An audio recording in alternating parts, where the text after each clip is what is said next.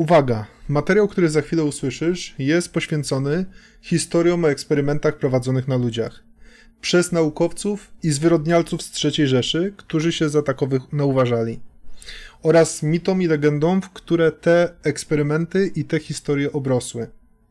Materiał powstał w trakcie zlotu widzów kanałów alternatywnych i jest częścią dłuższego QA.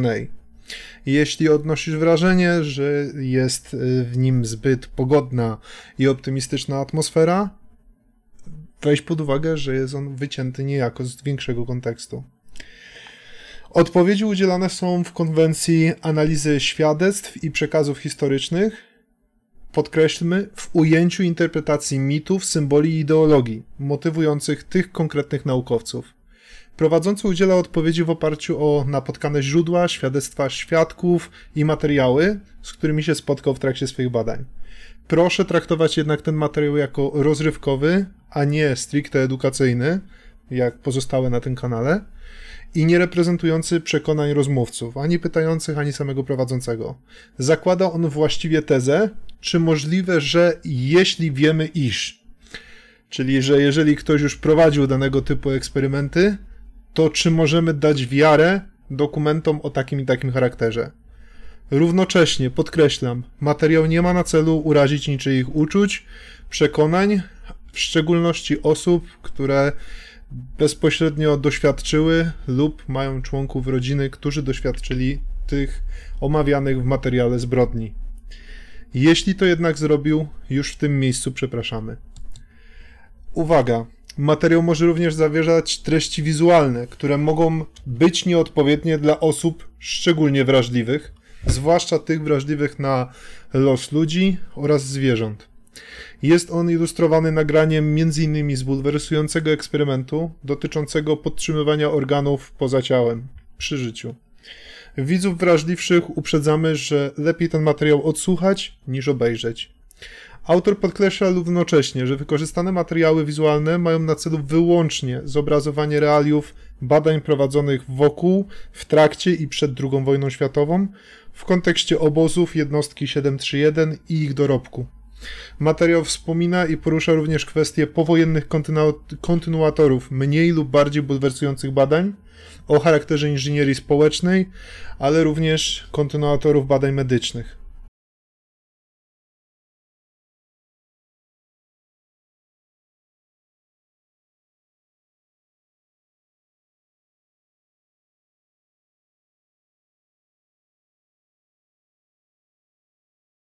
Chciał pytać, no?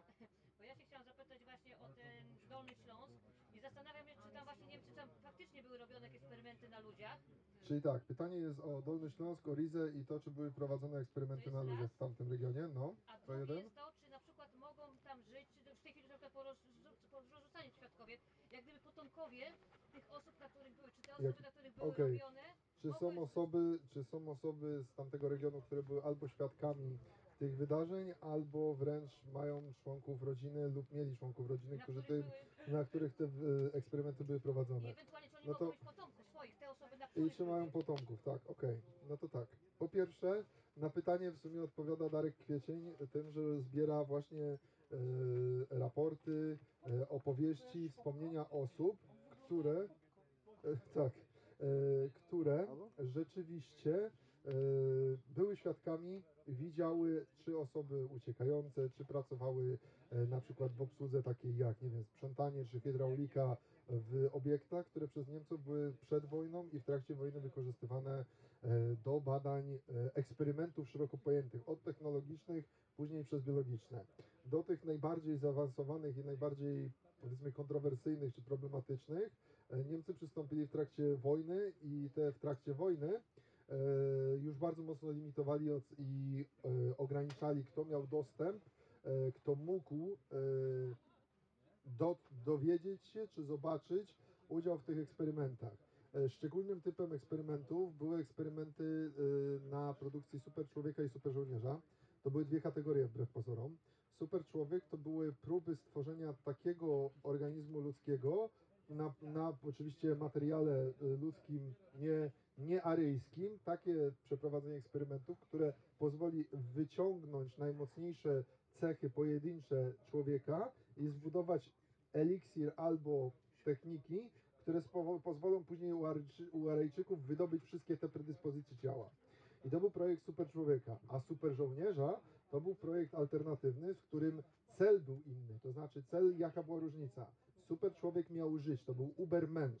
To miał być człowiek, który będzie żył i stanowił ten, tak, Ibermensch, e, który miał być uosobieniem tego e, przyszłego pokolenia po wojnie.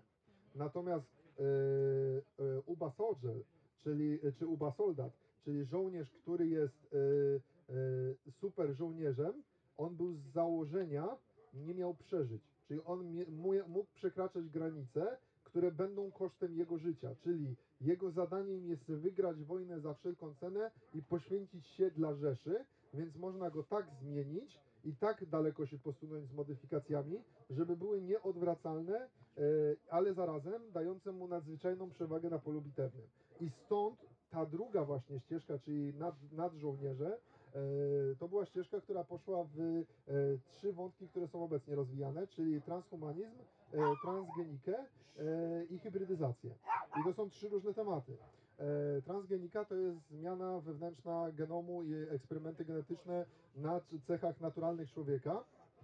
Na przykład takie oddziaływanie na genom e, i pobudzanie, e, pobudzanie organizmu, żeby przykładowo wzrastała męska muskulatura. E, Albo wydatność mięśni, czyli to, żeby mięśnie były w stanie udźwignąć wysiłkowo większą ilość, ale równocześnie szybciej się zużywały.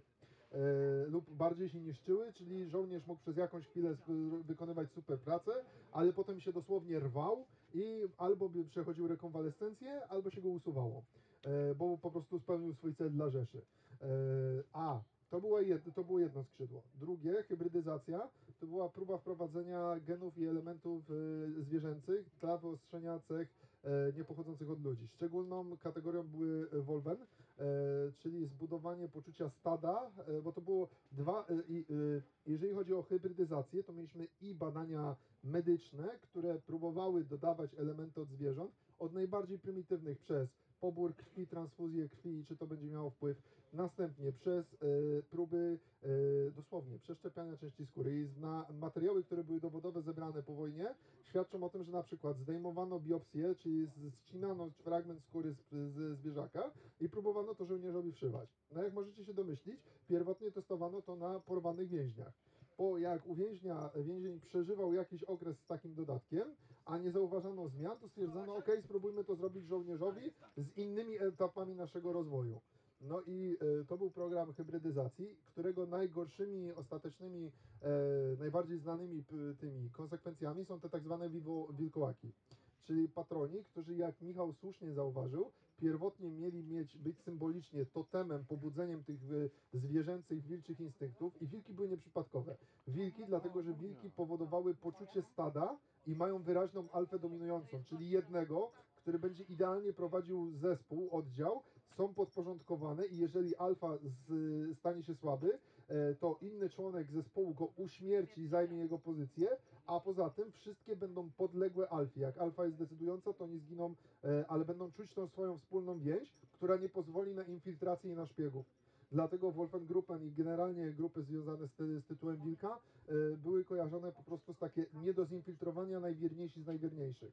I dlatego ich przeznaczono do opieki i do pracy na e, instytutach tajnych e, i żeby w ogóle zostać włączonym do tego programu już zaawansowanego, jak przeszli przez etap eksperymentów, które nie przynosiły skutku, do etapu takiego, który faktycznie wyostrzał chociażby instynkty, bo tutaj oni zauważyli, że o ile medyczne podejście dawało słabe skutki, o tyle już szkolenie, e, zabiegi rytualne oraz zabiegi psychologiczne, e, które miały e, wywołać e, u człowieka poczucie, utożsamienie z wilkiem, plus totemizm wilczy, bo oni zaczęli po prostu wracać do e, praktyk związanych z berserkami, czyli e, objęciem totemem zwierzęcym i robienie zarówno rytuałów, jak i budowaniu w tym człowieku psychiki, że on się utożsamiał, że jest nie tylko człowiekiem, ale jest równocześnie wilkiem, częścią grupy wilków, wilków e, Adolfa albo wilków Himmlera. I jak oni przechodzili ten proces takiej in, nie tylko indoktrynacji, ale wręcz e, to się nazywa angielskie conditioning. E, nie pamiętam polskiego odpowiednika słowa, warunkowanie. Jak przechodzili ten cały proces warunkowania, to oni w pewnym momencie ich psychika się nie tyle łamała, co najpierw u niektórych wymagane było, żeby złamać i zacząć zbudować nową. I to robili zwłaszcza na więźniach, chociażby Bartnik. Natomiast u żołnierzy, których, y, którzy byli ochotnikami i chcieli, no to u nich ten warunkowanie przechodziło na zasadzie było dobre podłoże, robili, sprawdzali, czy on przejdzie kolejne etapy zmiany i w zależności jak skutecznym był wilkiem, to pozwalali sobie na coraz większe zmiany w jego ciele, bo on był do tego chętny, bo to rozwinie jego umiejętności. I stąd też mamy przypadki, które poddawały się dobrowolnie, czując się częścią tych e, grup, e, zaawansowanym eksperymentom, gdzie największym hardcorem, jakiego próbowano, i robili to później Rosjanie próbowali odtworzyć te eksperymenty i stąd wiemy, że co się działo w Niemczech, e, to była próba transplantacji całej głów. E, Przy czym to było po to, to, była, to było robione po to, żeby wilki niższego rzędu były dosłownie ze, zwie- półzezwierzęcone, e, czyli zwierzęta i to było, stąd w ogóle niemieckie, y, niebieskie owczarki, tak na marginesie, że było wykorzystanie psów, które są najbliższe do wilka i e, uczenie owczarków szkolenia tak e, i stąd wyszła cała linia obecnie e, tych e, belgijskich owczarków, które się nazywają e, malinosy. e, które są super, e, super posłuszne, wykonują mnóstwo poleceń, ale muszą ciągle dostawać poleceń, musisz ich pilnować. Jeżeli nie wydajesz im poleceń, dostają, przepraszam za określenie pierdolca. W sensie one nie potrafią się same sobą zająć, one muszą być cały czas pod komendą. Więc one są super posłuszne, ale wymagają non-stop, tak, non-stop pracy. E, I jako rasa malinosy są e, przez, do przeznaczenia policja, wojsko, e, czasami poszukiwanie ludzi, ale na przykład do poszukiwania ludzi nadają się mniej niż do poszukiwania zaginionych rzeczy, narkotyków i tym podobnych spraw. I wyobraźcie sobie, że te psy to jest linia, która, z której doświadczenia i rozwój tej rasy był związany z tym, że oni próbowali tak samo e, przeprowadzić warunkowanie zwierząt, czyli oni brali dzikie wilki. I stąd na przykład macie, dlaczego są czechosłowackie wilczarze? Bo to jest krzyżówka wilka z psem. E, I to było jedyne takie pośredni, e, pośredni gatunek, który dla nich był efektem ciężkich prac niemieckich. Bo oni, owszem, rasy mogą być odrobinę starsze, tylko że sama próba wykorzystywania e, tych zwierząt to jest dowód na to, że Niemcy próbowali przekroczyć tą granicę, gdzie wilk jest dziki, do tego, żeby był posłuszny jak pies. E, a, a później to, co właśnie wspomniałem, czyli najbardziej radykalna wersja, w którą ludzie nie chcą wierzyć, a którą Rosjanie po wojnie powtórzyli, czyli transplantacja głowy. Bo Rosjanie przeprowadzili dwa eksperymenty, to było w latach 50. Bodajże mu, y, jeden z dokumentów się mówi o 56. To była kwestia tego, czy można transplantować głowę. I stąd i na przykład teraz najnowsza operacja, która była robiona o transplantacji pełnej głowy. E, natomiast co do jej wyników, to jest mocno kontrowersyjne. Możecie Marka zapytać, bo, e, bo było bardzo dużo na ten temat artykułów. E, facet w Chinach to ostatecznie zrobił, bo w Chinach jest inny kodeks moralny. W sensie tam można robić dużo więcej zabiegów i prawo międzynarodowe jest inaczej respektowane. Ale to, to nie jest tak, że oni łamią prawo międzynarodowe, tylko oni inaczej rozumią pra, prawo stanowione. Więc jeżeli w Chinach jest takie zrozumienie, że jeżeli dane prawo czegoś nie zabrania wprost, to znaczy, że nie jest to, za, że nie jest to wykluczone. Czytaj, jeżeli jest powiedziane, że nie wolno robić tego i tego i tego, ale tamto nie zostało wymienione, to tamto można zrobić. Czyli e, jeżeli dopuszczamy przeszczepy przykładowo organów od zwierząt, to nie, to nie wykluczono przeszczepu organów w postaci głowy. E, Natomiast e, w Chinach nie przeszczepiano zwierzęcych, ale w Rosji prób- próbowano. Po pierwsze oddzielenie zwierzęcej głowy i zobaczenie, czy można podtrzymywać e, strukturę najpierw na zwierzętach, e, czy można mechanicznie podtrzymywać i to się udało. E, to się udało, przecież zanim Łajkę posłali w kosmos, to próbowali e, zrobić tego. E, jako, że wiedzieli, że nie będzie, że zwierzę nie może wrócić, nie mają metody powrotu, e, to rozważali opcję, jak zwierzęta z tej samej, z tej samej linii co Łajka, jak je naszykować po prostu do tego, że e, co alternatywnie, jak można zminimalizować rakietę, czyli na przykład zrobić kombinezon takiego biorobota. E, I historia o biorobotach i dokumenty o biorobotach są na tyle dobrze udokumentowane po stronie rosyjskiej, że nazywanie tego teorią spiskową to jest mniej więcej tak jak twierdzenie, że e, no chociażby nie było zamachu na tego, e, że e, katastrofa e, tego naszego Sikorskiego, że to był wypadek. To jest mniej więcej ta, ten sam poziom. Czytaj, wypadek jest dlatego, że oficjalnie nie wolno mówić, że to był zamach. Natomiast, że był to zamach, to wszyscy wiedzą, wliczając tych ludzi, którzy mówią, że to jest wypadek. Analogicznie jest z tymi biurobotami, bo na biurobotów była dokumentacja zdjęciowa, która była dość mocno e, w bloku wschodnim w latach 80. normalnie były z tego robione dokumenty. E, I stąd w sumie wiemy, bo te dokumenty, e, filmy dokumentalne, nawet na język polski tłumaczone, leciały w telewizjach publicznych, tak? E, I one były pokazywane, że robimy to na podstawie tego, a wyobraźcie sobie, co robią Amerykanie i ta zła strona po drugiej stronie bloku, tak? Ale w razie czego, to my ich dogonimy, bo my mamy też zaawansowaną technologię, też mamy te badania. E, I Rosjanie w badaniach swoich wyprzedzali znacząco Amerykanów, bo Amerykanie nie potrafili ogarnąć, w sensie Niemcy ich tam dość mocno, e, w, tych Niemców, których oni ściągnęli do siebie w ramach programu Paperclip, to dość ładnie Niemcy ich wydmuchali i zrobili sobie taką własną e, nowy przyczółek w Stanach Zjednoczonych, tak jak mieli zlecone zadania e, z wierchuszki. No bo to jednak wszystko są ludzie, którzy mieli, oni autentycznie ideologicznie wierzyli w to, co robili. E, No i teraz trzecia grupa, o której jeszcze nie mówiłem, to była grupa właśnie cybernetyzacja człowieka, czyli transhumanizm.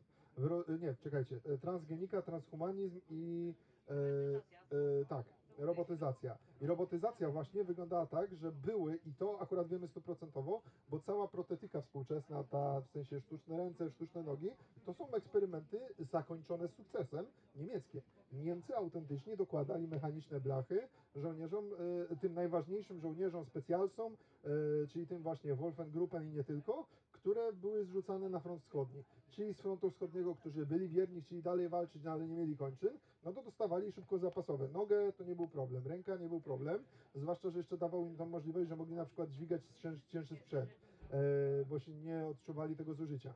Natomiast e, e, oni doszli tak daleko z tą protetyką, że w pewnym momencie zaczęli, e, jak pacjent był dosłownie wszystkie kończynki urwane albo przynajmniej dolne, e, no to najdalej, co się Niemcy posunęli, to było zamontowanie faceta na gąsienicach.